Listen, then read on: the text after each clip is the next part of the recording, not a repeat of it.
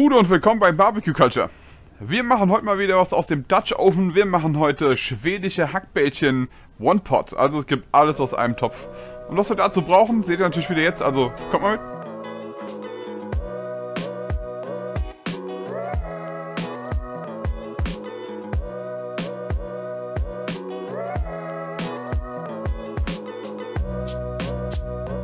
Und hier haben wir schon unsere Zutaten. Wir brauchen natürlich Hackfleisch für Hackbällchen. Wir haben hier ungefähr 500 Gramm Rinderhack.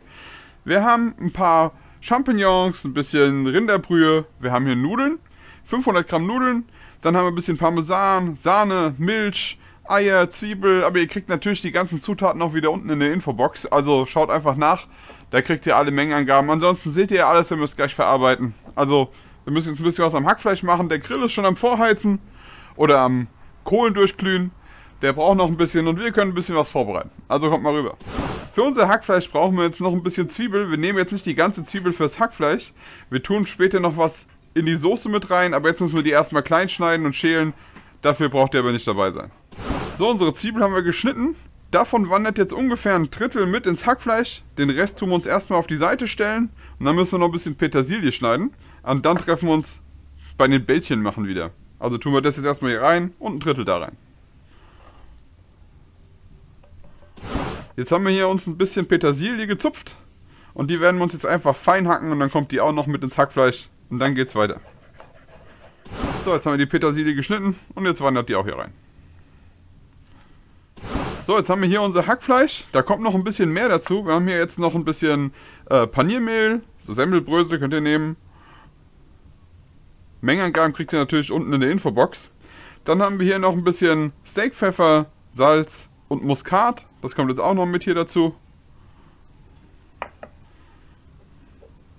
Und jetzt kommen noch zwei Eier. Das sind jetzt zwei kleine Eier. Ihr könnt natürlich auch ein großes nehmen. Kommt ungefähr aufs gleiche raus. Und das hier müssen wir jetzt noch zu einer gleichmäßigen Masse verkneten. Also, legen wir mal los. So, unsere Masse ist fertig vermengt. Jetzt gehen wir hin. Und jetzt könnt ihr euch Bällchen formen in der Größe, die ihr wollt. Ich will jetzt gar nicht so große Bällchen haben. Die sollen schon recht klein sein. Lieber ein paar mehr. und ja, so die Größe tut's. Die machen wir uns jetzt alle. Und dann geht's schon an den Pilzen und dann am Topf weiter. Also sehen wir uns gleich wieder. So, unsere Hackbällchen sind fertig. Die stellen wir uns jetzt zur Seite. Und jetzt nehmen wir uns noch unsere Pilze. Die müssen wir uns jetzt auch noch schneiden. Die mache ich jetzt gerade noch ein bisschen sauber. Und dann geht's los. So, jetzt müssen wir noch unsere Pilze schneiden. Dafür nehmen wir uns jetzt einfach ein Stück von dem Strunk ab. Und dann tun wir die uns hier erstmal vierteln. Und je nachdem, wie groß ihr die haben wollt, könnt ihr die jetzt auch nochmal ein Stück kleiner machen. Und dann tut's das und das machen wir jetzt erst damit ein. So, unsere Pilze sind auch fertig geschnitten. Und jetzt geht's am Topf los. Jetzt treffen wir uns am Grill wieder. Also kommt rüber.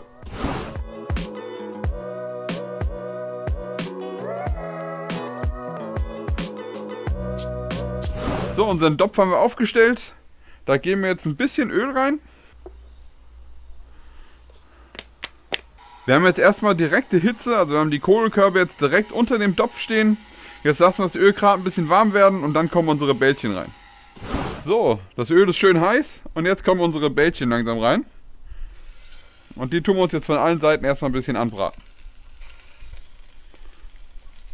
Haben wir alle Bällchen drin. Die braten uns jetzt an und dann kommen gleich die Pilze dazu und die Zwiebeln dazu.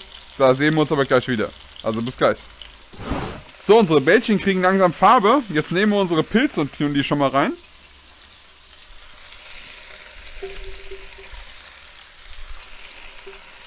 Und die tun wir uns jetzt auch noch mal ein bisschen mit anbraten.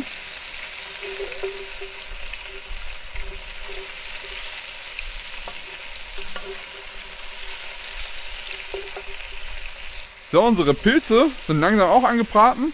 Und jetzt geben wir noch unsere Zwiebeln dazu. Die tun wir uns jetzt auch noch kurz mit anschmoren. Und dann geht es an die Soße. So, jetzt hat alles schön Röstaromen bekommen.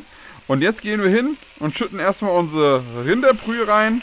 Das sind jetzt 600 Milliliter. Dann kommt 200 Milliliter Milch mit rein. Und 200 Milliliter Sahne.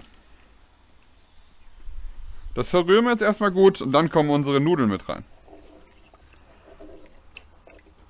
So, wenn wir jetzt alles schön verrührt haben, kommen jetzt unsere Nudeln mit rein.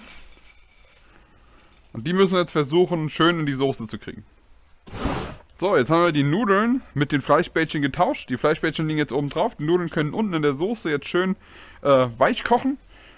Und dazu nehmen wir uns jetzt den Deckel, machen den drauf und wir sehen uns gleich wieder. So, als letztes müssen wir uns noch ein bisschen Parmesan reiben. Dafür habe ich jetzt hier eine Reibe und jetzt tun wir uns das erstmal schön runterreiben, das Ganze. So, unseren Parmesan haben wir gerieben. Die Menge sollte ungefähr lang. Das geben wir jetzt gleich am Ende dazu. Dann wird das Ganze so ein bisschen schlotzig, gibt ein bisschen Umami-Flavor mit rein. Da treffen wir uns aber gleich wieder. Wenn die Nudeln langsam weich werden, kommt das noch dazu. Also sehen wir uns gleich wieder.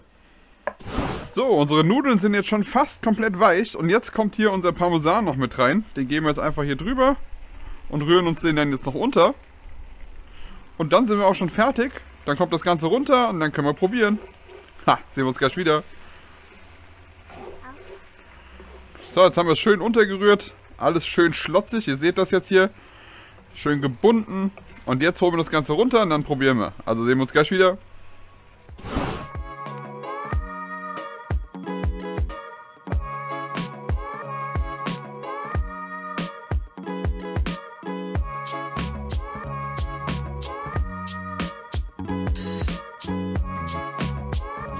So, unser One-Pot-Gericht ist fertig. Unsere schwedischen Hackbällchen sind fertig.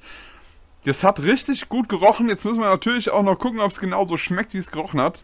Und dafür habe ich hier schon mal eine Gabel besorgt. Ich freue mich schon auf die Hackbällchen. Die sind bestimmt richtig geil. Also erstmal ein Stück Hackbällchen hier probieren. Einmal. Hm. Mhm. Hm, hm, hm. Schön saftig, weil sie ja mitgekocht sind. Und jetzt müssen wir noch die Nudeln. Oh, da kommt schon der Parmesan raus. Hm. Jetzt hier noch ein paar Nudeln. Noch ziemlich heiß. Wir brennen uns mir mal wieder das Maul nur für euch.